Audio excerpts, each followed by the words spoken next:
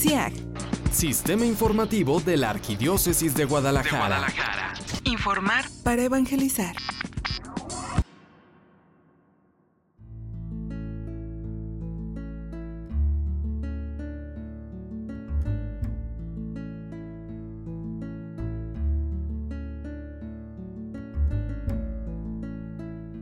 Bueno, desde el punto de vista religioso, la romería es un acto eh, multitudinario de gratitud.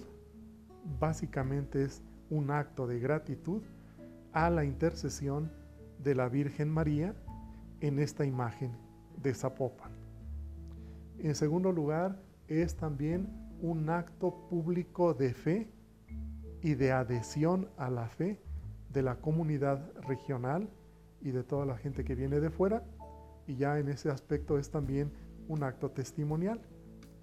Pero igualmente es una manifestación de la multiplicidad cultural de la fe cuando se expresa en una actividad como esta.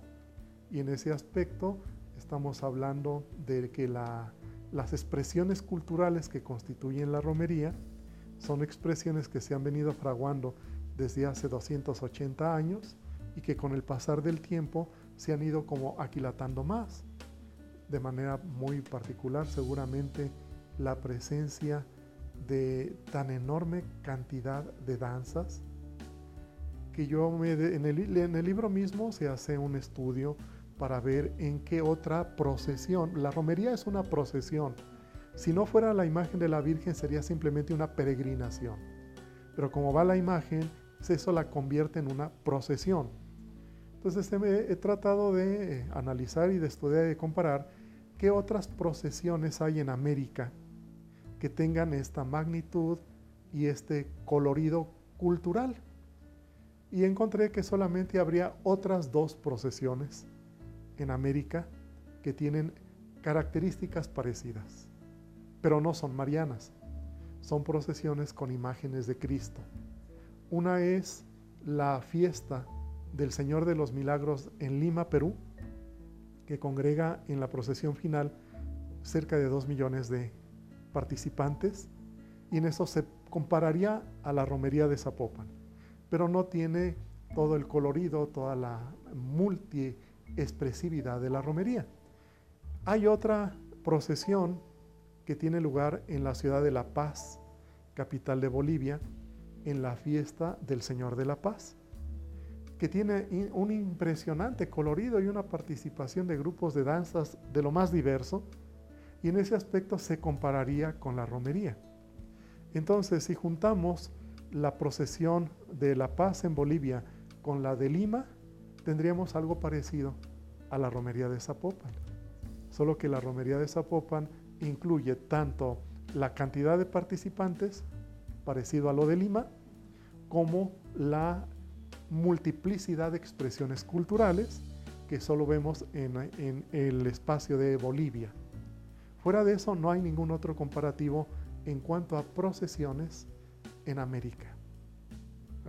En esto siempre hay que distinguir lo que son santuarios muy visitados, que está la Villa en México, santuarios a los que llegan muchas peregrinaciones, como San Juan de los Lagos o San Juan Nuevo o cualquier otro lugar. Aquí no estamos hablando de eso, estamos hablando de una procesión mariana que solo puede compararse con la que se da en Lima o la que se da en La Paz, Bolivia.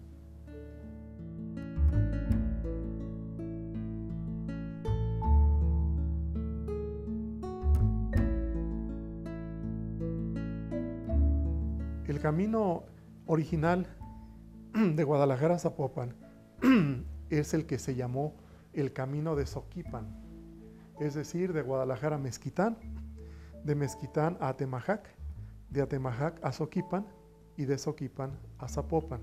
Ese es el camino original. Pero el camino de la romería, porque la romería es del siglo XVIII, es el camino que se llamó hasta hace un tiempo el camino de los Colomos, es decir, la calle Morelos hasta la Garita del Carmen.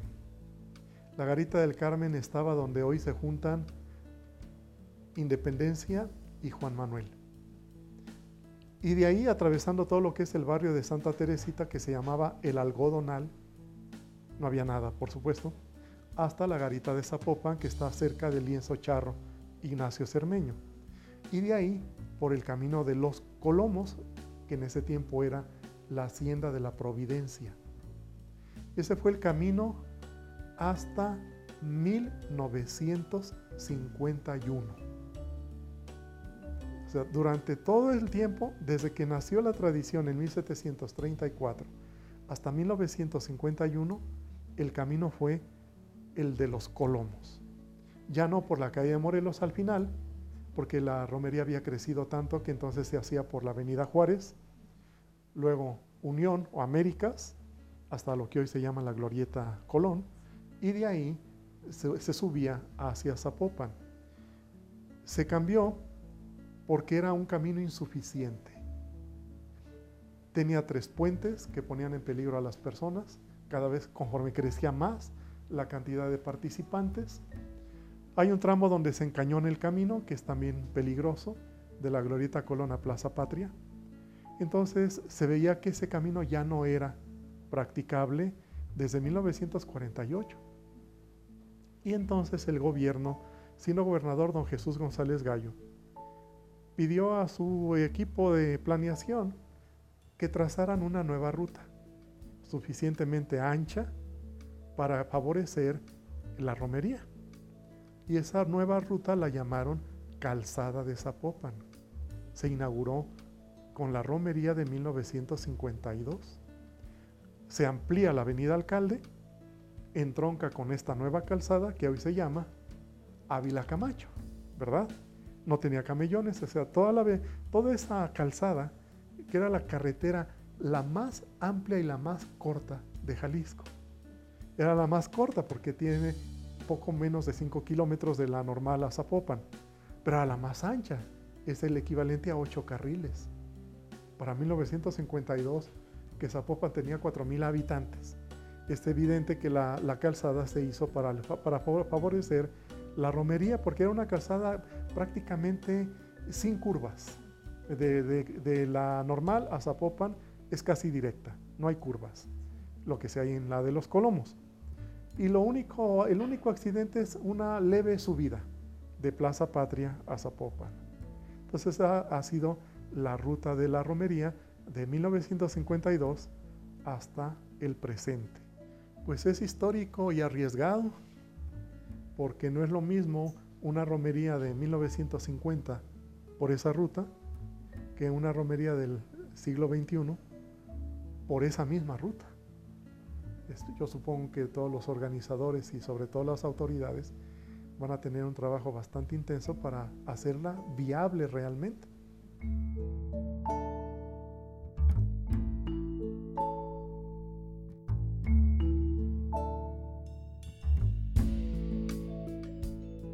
Pues eh, eh, la, única variable es el crecimiento. la primera nota que nos da Motapadilla de los participantes en la romería de 1734, él dice que va toda la ciudad. Pero ¿qué era toda la ciudad de 1734? Eran 24 mil habitantes. Entonces no es lo mismo 24 mil habitantes a un millón o a dos millones, ¿verdad? La, romería más participada hasta ahora fue, fueron 3 millones en el año 2004, en que coincidió o se hizo coincidir la romería con el Congreso Eucarístico Internacional. Pero la media de la romería es de un millón y medio a dos millones de participantes en la romería. Es decir, en lo que la imagen se sale de la catedral y llega a su santuario. ¿Cuánta gente asiste desde el día 11 o sigue llegando a Zapopan después que ya la Virgen está en su altar? Eso ya varían mucho las cifras.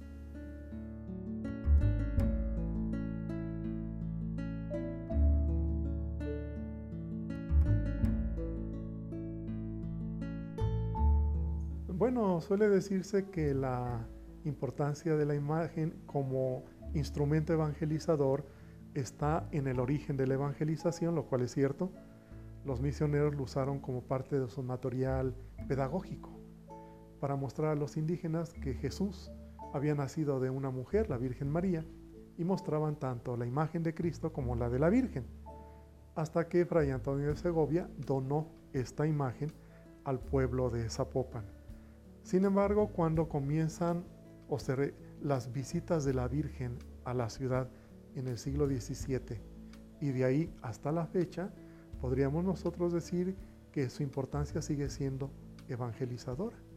O sea, la, la tradición de la visita anual a los templos sigue siendo un acto de evangelización para todos los que son testigos de algún modo, aun si se molestan, porque es un mensaje de la presencia de la fe cristiana en nuestra ciudad y en nuestra región. O sea, sigue siendo una, una, una acción evangelizadora.